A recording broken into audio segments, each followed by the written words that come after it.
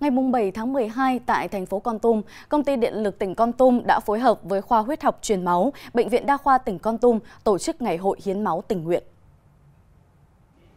Với chủ đề Lan tỏa yêu thương, Ngày hội hiến máu tình nguyện đã thu hút hơn 100 cán bộ, nhân viên, người lao động của công ty hưởng ứng tham gia.